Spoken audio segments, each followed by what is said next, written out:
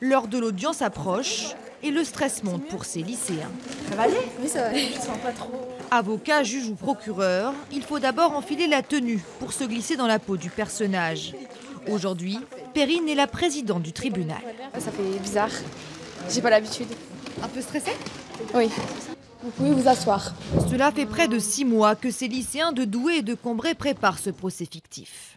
Ils doivent juger un homme poursuivi pour menace de mort avec arme.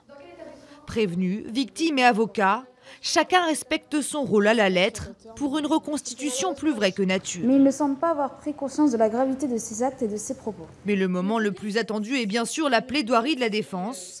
Un exercice difficile quand on a 17 ans. Mais ici, nous avons un, un jeune homme qui, est, euh, qui a été traumatisé et, euh, qui a été traumatisé et touché par euh, cette séparation. Pour les aider à délibérer, une avocate professionnelle les accompagne. C'est un primo-délinquant, Tony? L'occasion pour elle de faire découvrir son univers. Ça démystifie euh, ce, milieu, ça donne euh, une, une, impression euh, beaucoup plus proche de la réalité. Et, à vrai dire, on a besoin de ça. Pour moi, ça me paraissait si simple. Franchement, pour moi, la juge, elle avait juste à dire ça, c'est ça, ça paraissait simple. Mais en fait, non, c'est compliqué. C'est une peine qui est symbolique. Au terme des débats, le prévenu de ce procès fictif a été reconnu coupable. L'audience est levée.